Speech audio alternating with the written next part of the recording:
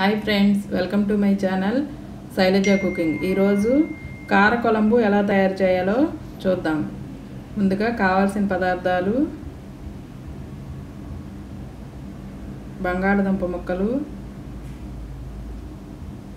ఉల్లిపాయ ముక్కలు కరివేపాకు వెల్లుల్లి ముక్కలు ఒక స్పూన్ బెల్లం పొడి ఉప్పు పచ్చిమిరపకాయ ముక్కలు రెండు స్పూన్ల కారకొలంబు పొడి అర స్పూన్ పసుపు ములక్కాడ ముక్కలు గుమ్మడికాయ ముక్కలు వంకాయ ముక్కలు ఒక స్పూను బియ్యం పిండి ఇంగువ నానబెట్టుకున్న చింతపండు నాలుగు స్పూన్ల నువ్వుల నూనె.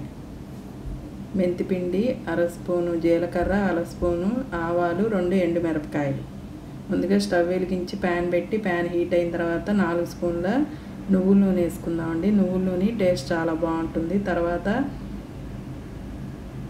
ఎండుమిరపకాయలు జీలకర్ర ఆవాలు వేసి వేయించుకుని ఇంగు వేసుకుని అది కూడా వేగిన తర్వాత కరివేపాకు సన్నగా తరిగి పెట్టుకున్న వెల్లుల్లి ముక్కలు పచ్చిమిరపకాయ ముక్కలు వేసి వేయించుకుందామండి తర్వాత ఉల్లిపాయ ముక్కలు వేసుకుందాం. ఉల్లిపాయలు సాంబార్ ఉల్లిపాయలు అంటారు కదండి అవి వేసుకుంటే చాలా బాగుంటుంది. ఉల్లిపాయ ముక్కలు కొంచెం మగ్గిన తర్వాత ఇంకా మనం తీసుకున్న కూరగాయ ముక్కలన్నీ వేసుకుందాం. మన ఇష్టం అండి ఏ కూరల ముక్కలైనా తీసుకోవచ్చు.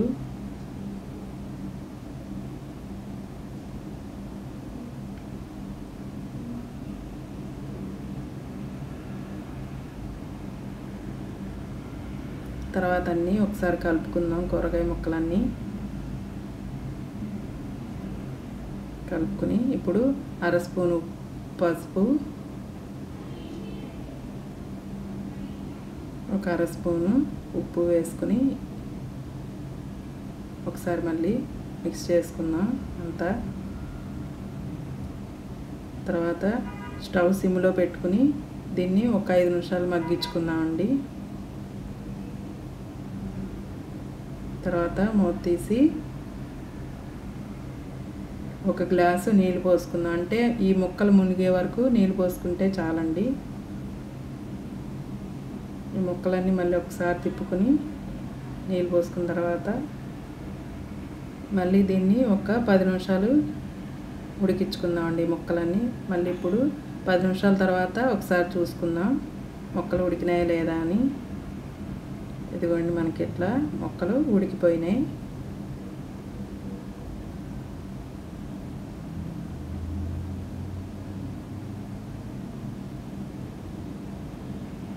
తర్వాత చింతపండు నీళ్ళు పోసుకుందామండి. మొక్కలు ఉడికిన తర్వాత ఈ చింతపండు ఇట్లా స్క్వీజ్ చేసి పోసుకుందాం. తర్వాత బెల్లం ఒక స్పూన్ బెల్లం వేసుకుందాం అండి చింతపండు వేసిన దాంట్లో బెల్లం వేయటం వల్ల కమ్మదనం వస్తుందండి.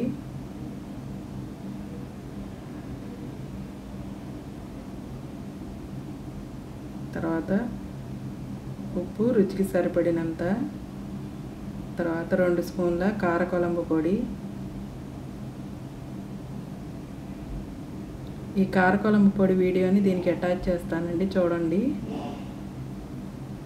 తర్వాత ఇవన్నీ ముక్కలకి పట్టేట్టు కలుపుకుందాం. తర్వాత ఒక పావు స్పూను మెంతిపిండి వేసుకుని పులుసుని ఉడకబెట్టుకుందాం అండి ఈలోపు అది పులుసు ఉడికేలోపు బియ్య పిండిని ఒక స్పూన్ బియ్య పిండిలో నీళ్ళు కలుపుకొని ఉండలు అంటే ఈ ఉండలు లేకుండా కలిపి పెట్టుకుందామండి లేకపోతే బాగుండదు.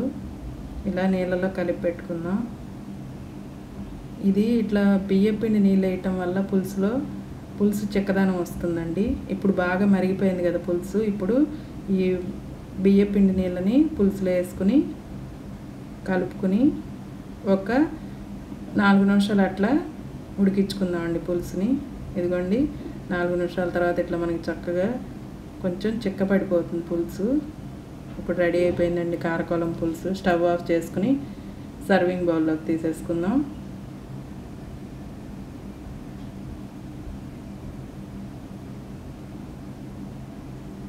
కారకొలంబు పులుసు రెడీ అండి.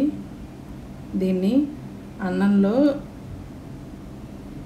అప్పడం వేసుకొని తింటే చాలా బాగుంటుందండి. మీరు కూడా ఒకసారి ట్రై చేయండి. నాకు టేస్ట్ ఎలా వచ్చిందని కామెంట్ చేయండి. Please subscribe.